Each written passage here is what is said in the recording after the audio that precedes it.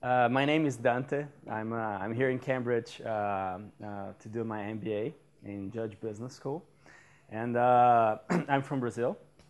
And uh, having the, the business background, I thought what could be an interesting subject for you guys. I believe you might be related to science, I don't know.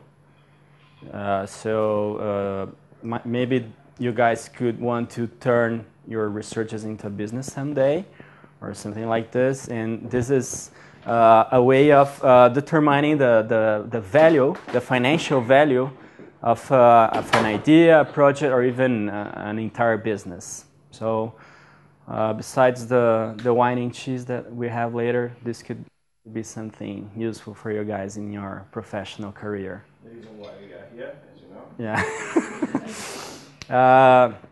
you can make me any questions along the, the presentation. I have only like, I think it's 10 or 13 slides here, which are only to help me uh, present the idea to you guys. All right. Uh, so I would like to start with an example. Uh, let's suppose that I have a goose that lay golden eggs, and I'm here to sell that goose to you. And how much do you pay for it. And don't, don't, don't say yet. Uh, you guys can make me any question you want about that goose. I'll answer them. And, and so that you can make your best offer. And I would like you guys to write down uh, in a piece of paper. Uh, and I'll show, I have the, a value. I mean, I, I made the, the valuation of this goose myself. And if your offer exceeds the value of this goose to me, I'll, I'll sell it to you and uh, explain why. If not, also I won't sell and explain why I, I didn't sell. All right? And, and you guys can make me any question you want now. I, I already have uh, the, the assumptions defined, so it's not a tricky game. I, I have it write down, so, all right? How much? Gold is bought per year in the world? How much gold is bought? Yeah, by weight. Uh, okay, you're asking about the demand, right? Yeah. Uh, there's demand for, for the, the golden eggs. Don't worry about that. All, all, all golden eggs that will be laid by, by this goose will be sold. Don't worry about it. How often do we get eggs? Can we make a family of golden the goose will, will lay the goose will, will lay uh, golden eggs once a month. Once a month. Yeah. The, uh, the life, life, life expectancy five five years. Do you have to feed it? Yeah, you have to feed him. You, you have to maintain this goose, and I'll say you. I mean, you have to feed him. You have to give him shelter and and, and things like that. And uh, yeah, the weight is uh, 500 grams and uh, uh, about the, the maintenance costs is around 1,000 pounds per month. Oh, fair enough. Yeah, otherwise. Uh, sorry? Um,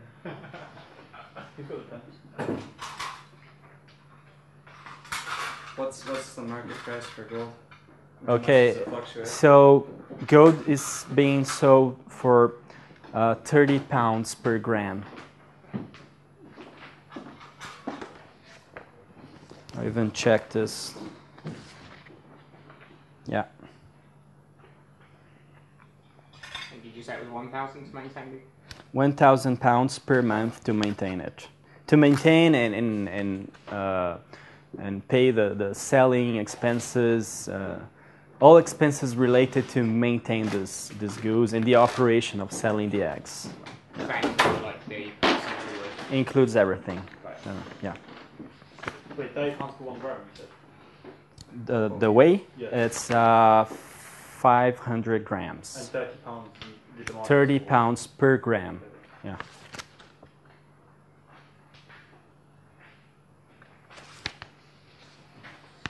All right. Okay. Are you guys ready to make the offer? Just write it down with your name on the paper, so that I can tell who who won.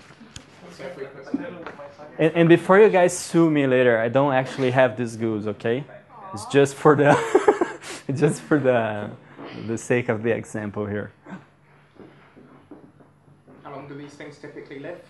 Five years. Five years. He'll live five years and, and produce eggs during that period.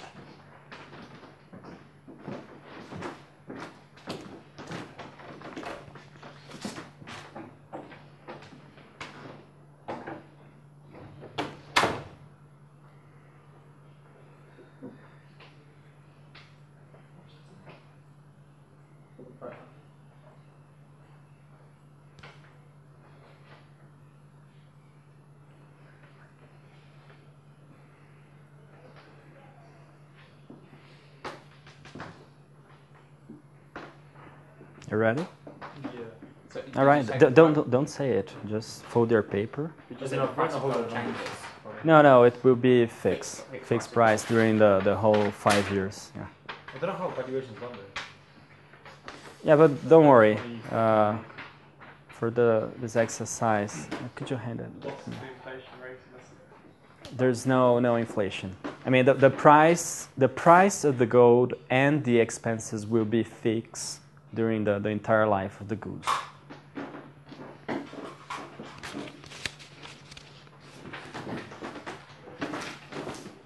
All right.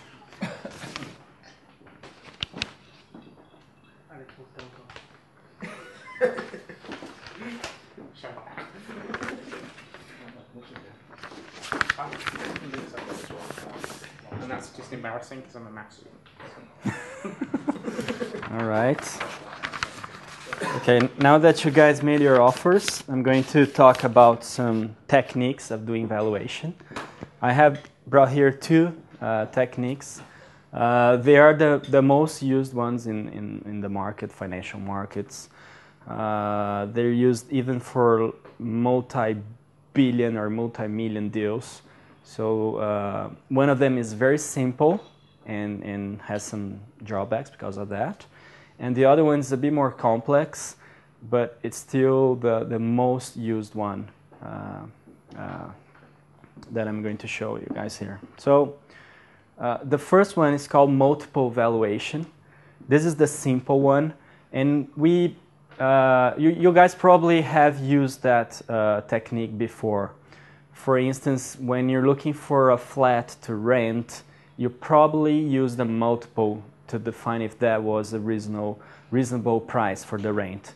What you do in, in that technique, you first choose the neighborhood where you want your flat to be.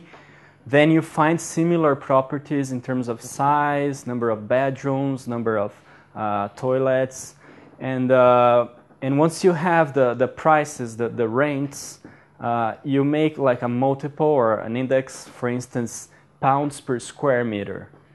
And with that multiple, you're able to compare each property, even if they have different uh, areas. Uh, this is a very, as you can see, it's a very simple technique, and uh, despite that, it's very used in, in financial markets. Uh, you find analysts using this to define the, the value of whole companies. When you're using it for, uh, for companies, you change it slightly. You, you like the first step is very, very similar. If you want to determine the value of uh, like a uh, uh, car manufacturer, you select that industry, and within the industry, you're going to look for uh, similar companies from that one that you want to, to determine the value. And by similar here, uh, I mean they are almost the same size, they have the same growth rates, uh, the same levels of debt, and uh, and also very important feature, it must be publicly traded companies so that you know the value of those companies that are comparable. Otherwise, you won't uh, be able to do the index.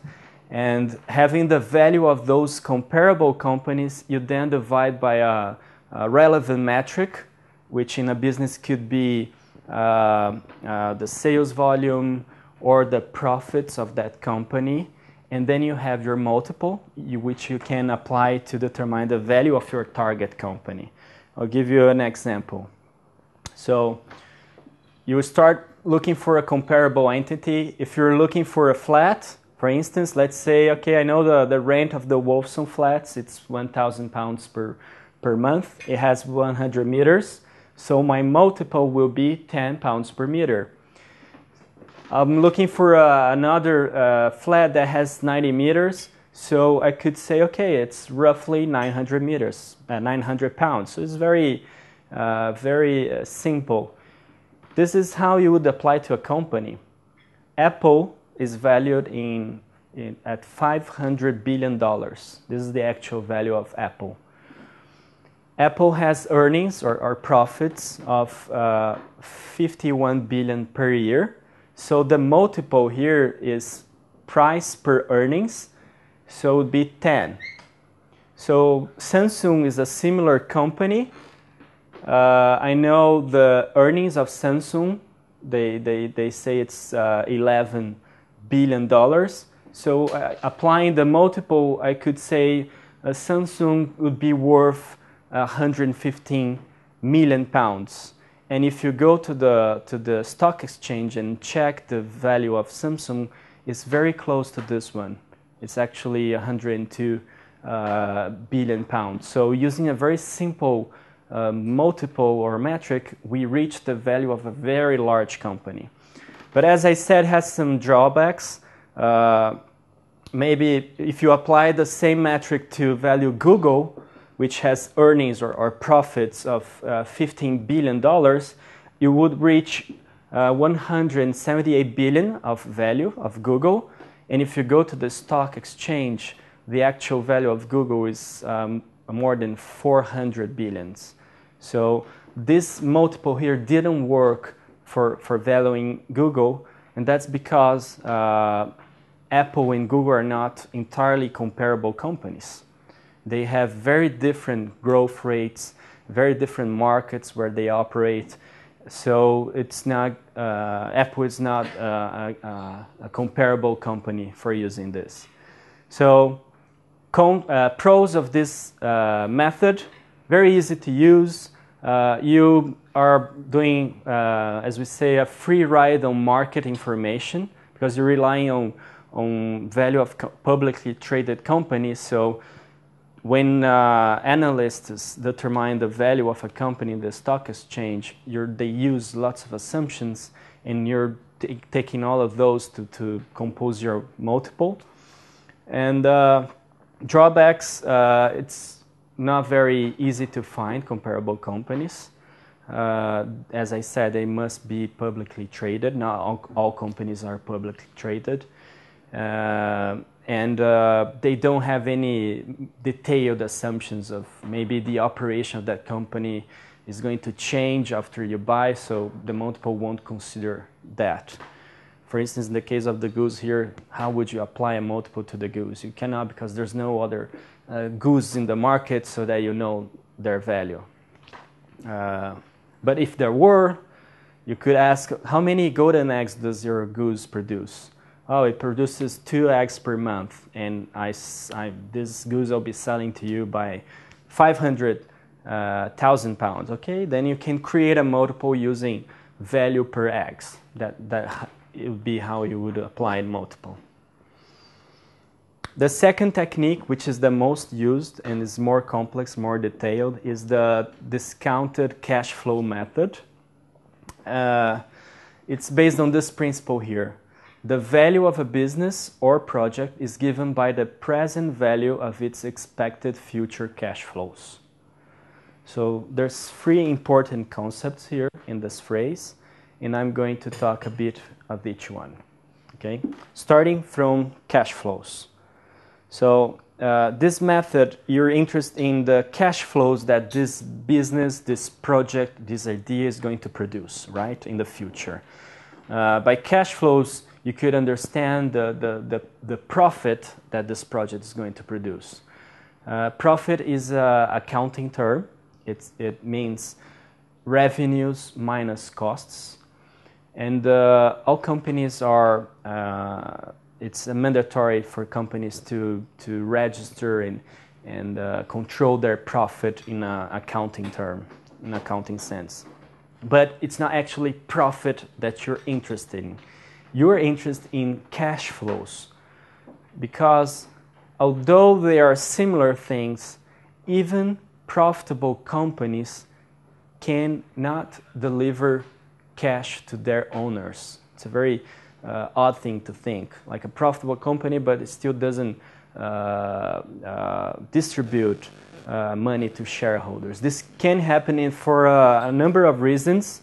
for instance, the company may have working capital needs that are not considered in the profit calculation, so the money has to stay within the company.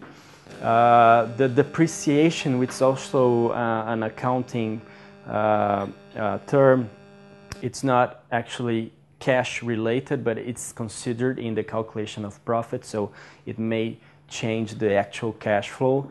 Or even investments, capital expenditures, they are not considering the profit as well.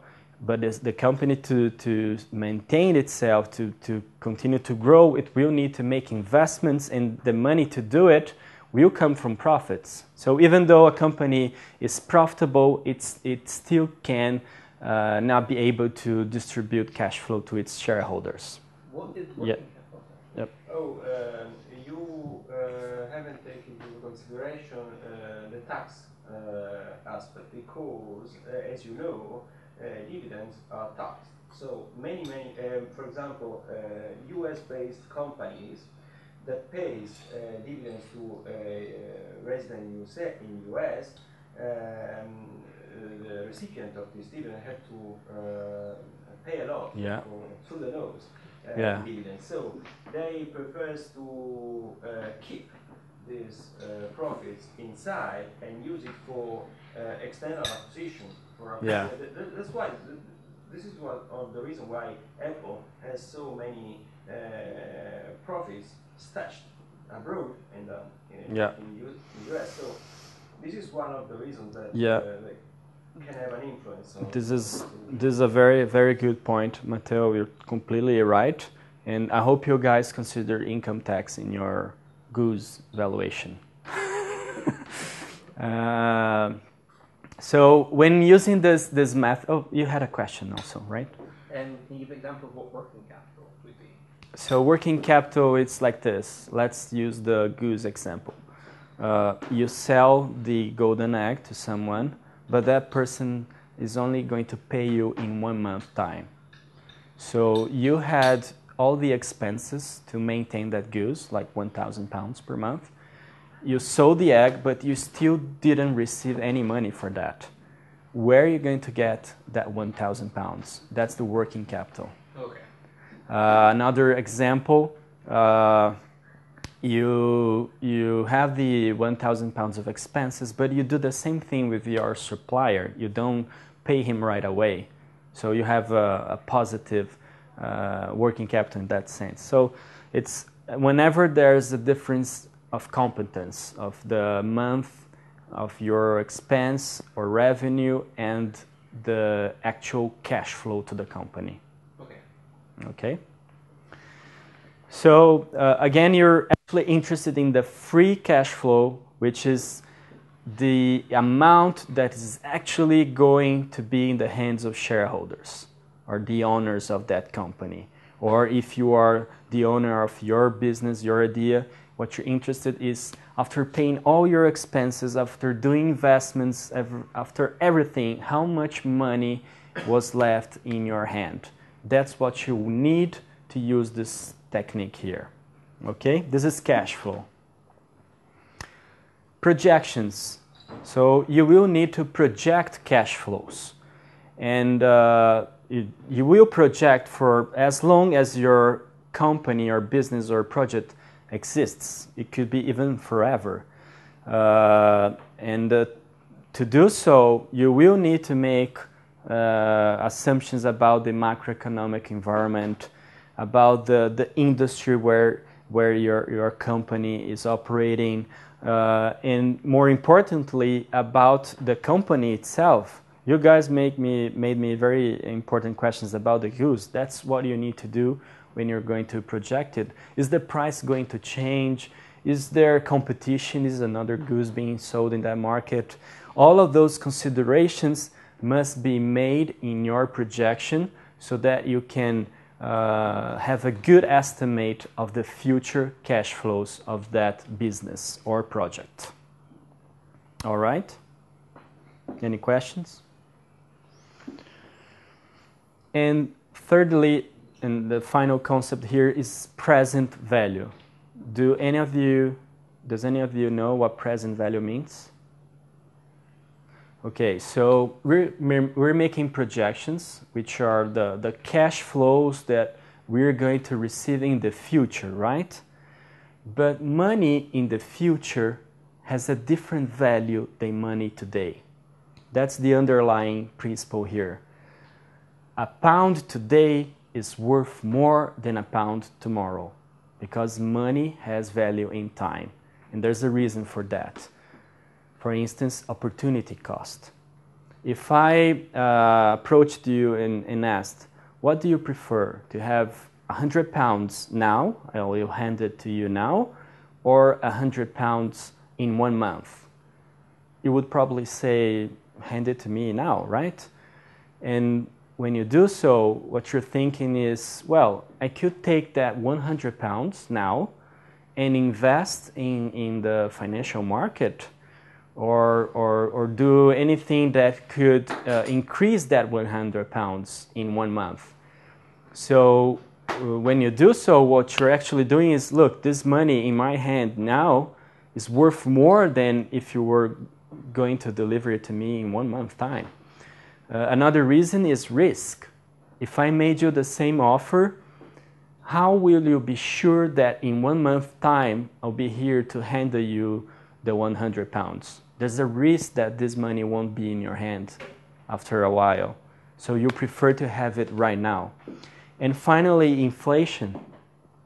Maybe that 100 pounds in one month time won't buy the exact same things that it would buy today because of inflation, prices rising.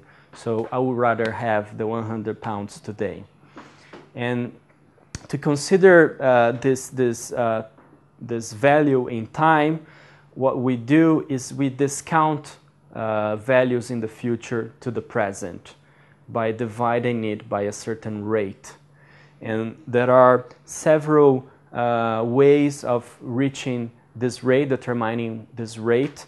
Uh, here are two uh, ways of doing it. I won't get into much detail here. One is the, the capital asset pricing model. It basically states that uh, you will expect higher uh, rates for higher risks. So let's say if you really trust me that I will pay you the 100 pounds in one month, we, you will discount this by a low percentage. But if I am uh, someone that you don't know or has a bad reputation, you will probably discount it for a higher rate. So that, that's how you, this, this method here is to determine this. There's historical evidence of the correlation between risk and, and percentages of discount. Also, the weighted average cost of capital, which is uh, for companies, uh, the, the level of debt that they have also interferes in the, the percentage you should use to discount money in the future. This is the, the general formula for the, the, the discounted cash flow model. It's basically the, the sum of all future cash flows in each period divided by your discount rate. And this uh, second part here is uh, the terminal value. It's used to determine the value of uh, infinite cash flows. Let's say you don't expect this business to, to, to shut down in a period, it will operate forever.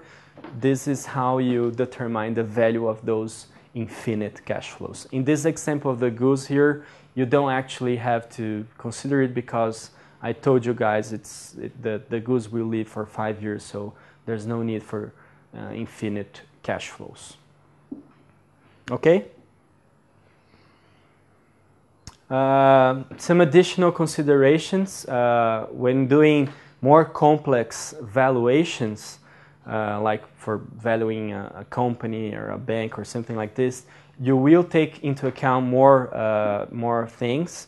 For instance, you could use varying discount rates. Uh, you could uh, make assumptions about the, the depth of the, the company that you're going to value. Uh, are you going to produce tax shields by buying this company?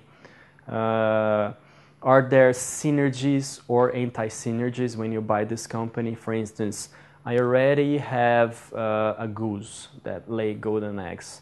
By buying a second one, will I be able to uh, save in maintenance by having two goose, one next to the other? So there's a synergy here. This has value. This should be taken into account in the in the projection, and also uh, illiquidity assumptions in controller premium. Uh, illiquidity is, is uh, if something is very hard to sell, there, there will be a discount in the value. For instance, uh, it's very easy to buy and sell shares of companies publicly traded because there's people buying and selling every day. But if you want to sell a house, for instance, your house, you, you might take some time to, to complete the deal. And because of that, you probably will have to sell for a discount. Let's say if you need to sell your house tomorrow, you will probably do that with a discount because that's not the kind of thing you do every day. Controller premium is if you're going to be the owner of the business, you should pay a little bit more for that because there's a there's a value in being the owner of something instead of, for instance, I'm going to be just a, a, a, a minority shareholder, just a small shareholder. Uh, there's a difference in being the owner in that. Okay, about the, the goose, these are the assumptions, as you can see, uh, the, the, the, same that I told you guys. Nobody asked me about the income tax, but uh, I, I made the assumption of the UK income tax here, 45%. What is that? We're students, we don't pay Oh, okay, yeah, but you should consider it. And uh, also the opportunity cost, which is the percentage to discount future cash flows. I presume you all assumed the same value of money in the future, right? But they, they should have been discounted. Uh, let me show the value of this goose in, in my valuation. I did this, uh, this, this is a DCF so you can see uh, this is a financial statement I projected for five years. This is the, the revenues, which is the, the number of eggs per month, per price, per the, the, the, the weight of each egg. The expenses, 1,000 pounds per month. The tax, this is the profit, the tax, the net profit. And this is how the present value uh, this is the present value of each of those cash flows. As you can see, as far as you go in the future, the value uh, reduces, meaning that I would rather have 50,000 pounds today than 92 pounds in five years using the 13% discount rate. So the value here would be in, in this valuation 324,000 pounds. This is the value of the goods to me, and I would only sell it for a value higher than that. So let's see here the values you guys have. Uh, wow, 840,000 pounds. This would definitely be one I would sell. Uh, would you like me to tell your name? No? Uh, no? no, okay. my No, no, no, I won't tell. My plan is that someone in the room will have made an arithmetic error, and then I'll sell it to them. Ah, okay. Let's see if someone made any error here. Uh, uh, one million pounds? Wow. You should, you should score us on scale. 250,000. That's an interesting calculation. Uh, it looks like this guy here uh, made the discount, right? Who is it? Uh, you did the discount? Nice. Uh, I don't have the number here, but uh, it's 30 times 50 times 12 times 5. That will be a large number, right? Yeah. Yeah. He- Yeah. Uh, this one here, three I wrote 3,000, I meant to write. three thousand. Wow. Man.